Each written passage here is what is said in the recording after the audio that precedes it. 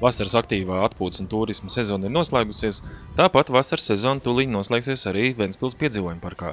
Vēl tikai šonadēļ parks darbosies līdzinējā ritmā, lai jau nākamnedēļ uzsākt gatavošanos ziemas sezonai.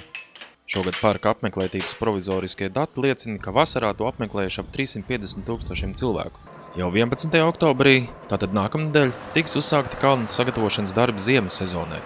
Nobrauciena trase kļūs vēl garāka. Ziemu mēs ļoti gaidām. Tā kā nebija tās divas, divu gadus ziema, tad šogad nu, ļoti ceram, ka tā būs. Un tagad tieši notiek darba, lai pārceltu augstāk pacēlājs. Um, tas, notiek, tas nozīmē, ka tika nostiprināts arī kalnu mala, uh, rietumu mala, un tas nozīmē, ka ir garāks nobrauciens būs.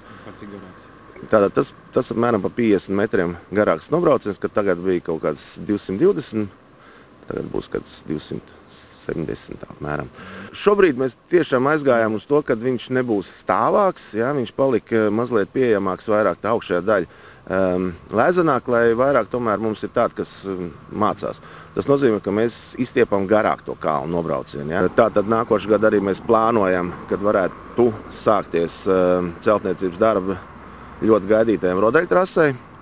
Uz šobrīd atbilst mūsu kalna augstums un, Un īstenībā arī tāpēc arī tiek noteikti šie darbi, lai, lai viss eh, varētu eh, nu, virzīties uz to, kad lai varētu nākošu gadu sākties celtniecība. Šobrīd norit darbi Lielā kalna smailē.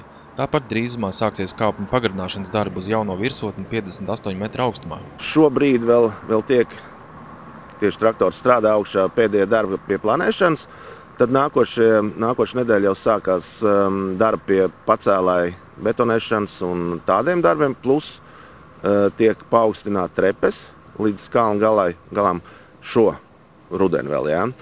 Un, um, tad briedis arī būs augšā. Vai viņš būs šo rudeni, vai viņš būs pavasarī skaisti uh, iekoptā zālītē, laikam jau pavasarī mēs viņu pārvietosim. Artūrs Ančīns, Žodiņš, Kurzems televīzija.